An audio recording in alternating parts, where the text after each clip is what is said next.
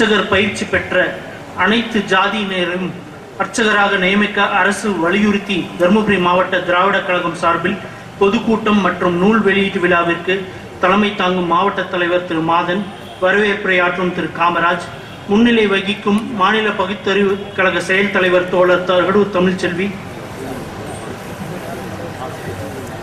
தருமபுரி சட்டமன்ற உறுப்பினர் எங்கள் மரியாதைக்குரிய மாவட்ட செயலாளர் திரு தடகம் சுப்பிரமணி ஒன்றிய செயலாளர் திரு சேட்டு கோவேந்தன் சிற்றரசன் மற்றும் கருத்துரை ஆற்றும் அறிவு களஞ்சியம் நடமாடும் நூலகம் கவிஞர் களிப்பூங்குன்றன் அவர்களே சிறுப்புரை ஆற்றவிருக்கும் பெரியாரின் முதன்மை சீடர் பெரியாரின் சித்தாந்தங்களை பட்டி தொட்டி எங்கும் ஓய்வில்லாமல் எடுத்துச் செல்லும் தமிழர் தலைவர் மாணமிகு ஆசிரியர் ஐயா அவர்களே இந்த மேடையை அலங்கரிக்கும் பகுத்தறிவார்களே மற்றும் இந்த நிகழ்ச்சியில் பங்கேற்று பெருமை சேர்க்கும் அனைத்து உள்ளங்களுக்கும் இனிய தமிழில் என் மாலை வணக்கம். தமிழர் தலைவர் அலங்கரிக்கும் இந்த மேடையில் நானும் உங்கள் மத்தியில் கலந்து கொண்டு உரையாற்றுவதையே பெருமையாக கருதுகிறேன். தமிழ் மண்ணுக்கு பெருமை சேர்த்த மாமனிதர் பெரியாரின் கொள்கைகளும் சித்தாந்தங்களும் ஆண்டாண்டு காலமாக ஒடுக்கப்பட்ட தமிழ் இனத்தை விடுதலை காற்றை சுவாசிக்க வைத்தது.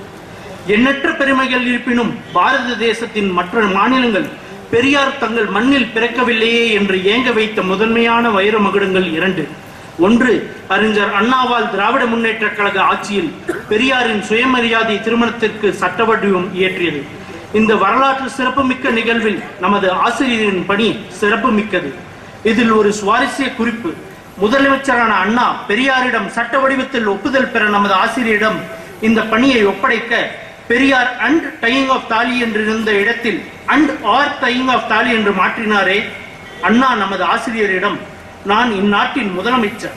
நீங்கள் ஒரு படித்த சட்ட வல்லுனர் நம் இருவருக்கும் தோன்றாத திருத்தத்தை செய்தாரே அதுதான் பெரியார் என்றார் வியப்பாக.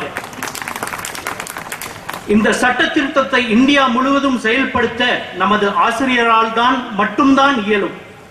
இரண்டு தமிழகத்தில் தனது பெயருடன் ஜாதி பெயரை சேர்த்துக் கொள்வது இன்று முழுமையாக ஒழிக்கப்பட்டது. எனது தாத்தாவின் பெயரின் பின்னால் ஜாதி பெயர் இருந்தது.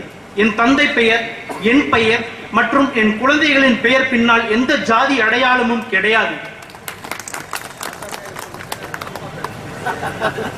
எனது தாத்தா இந்த மா இந்த மாவட்டத்தின் முதல் சட்டமன்ற உறுப்பினர் திரு டி என் வடிவேல் கவுண்டர் எனது தந்தை Thiru T N V Selvaraj அவர்கள். தமிழகத்திற்கு கிடைத்த இந்த பெருமை பெரியாருக்கு மட்டுமே. இது இது ஒன்றே போதாதா? தமிழகம் மற்ற மாநிலங்களை விட மூன்று தலைமுறை முன்னேற்றம் அடைந்ததற்கு சான்று. அனைத்து ஜாதியினரும் அர்ச்சகராக நியமிக்க கேரள அரசு ஆணை பிறப்பித்த பிறகும் தமிழக அரசு பின்தங்கி இருப்பது கண்டனத்துக்குரியது. தமிழகத்தின் பிரச்சனைகளை முன்னின்று போராடுவதில் முன் முதன்மை இடம் நம் திராவிட கழகத்தையே சாரும். நீட்டுக்கு எதிராக தீவிரமாக போராடி இந்த பாரபட்சமான தேர்வின் மூலம் பலர் தங்கள் கனவுகளை இழப்பார்கள் என்று மீண்டும் மீண்டும் வலியுறுத்தியவர் தமிழர் தலைவர். நம் அச்சப்பட்டது போல் இன்று தோழர் அனிதாவை பறிகொடுத்து நிற்கிறோம். பூஜை வழக்கை பொறுத்தவரை ஆரம்பம் முதல் ஆர் ராசா மற்றும் கனிமொழி அவர்களுக்கு உறுதுணையாக இருந்து தன்னம்பிக்கை ஊட்டி அவர்கள் குற்றமற்றவர்கள் இந்த பொய் வழக்கில் நீதிமன்றத்தில் விடுதலை பெறுவார்கள் என்று ஓயாமல் நாடு முழுவதும் எடுத்து சென்று பிரச்சாரம் செய்தவர் நம் தமிழர் தலைவர் ஆகும் அவர் சொன்னதை போல் நெருப்பாற்றில் நீந்தி திமுக வெற்றி பெற்றுள்ளது. நீதியரசர் சைனி தனது தீர்ப்பில் இந்த வழக்கு கடந்த ஏழு ஆண்டுகளில் நீதிமன்றத்தில் ஒரு ஆதாரம் கூட சமர்ப்பிக்கப்படவில்லை என்று கூறியுள்ளார்.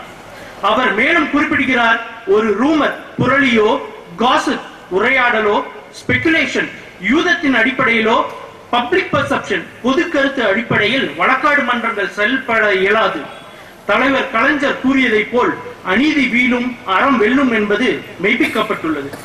தமிழகத்தை இப்போது ஆளும் நம்பிக்கையற்ற அதிமுக அரசு மற்றும் ஆளுநர் மூலமாக அண்ணாவின் மாநில சுயாட்சி கொள்கைக்கு ஆபத்து விளைவிக்க நினைக்கும் பாஜக அரசின் கனவை சிதைப்பதை நோக்கி நம் போராட்ட களத்தை அமைக்க வேண்டும்.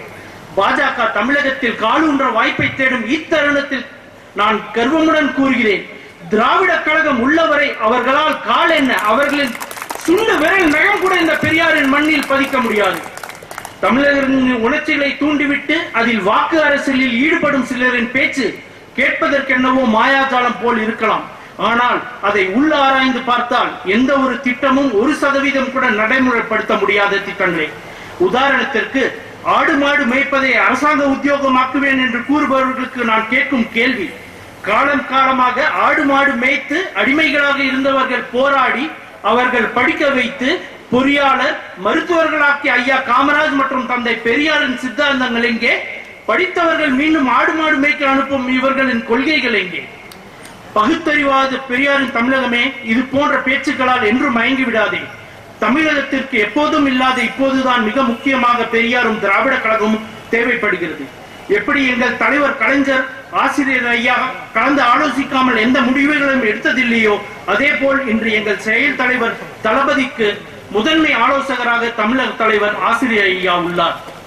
போராட்ட களம் தயார். இறங்கி போராடி வெற்றியை நிலைநாட்ட பெரியாரின் போர்ப்படை தளபதிகளே தயாராகுங்கள். நன்றி வணக்கம்.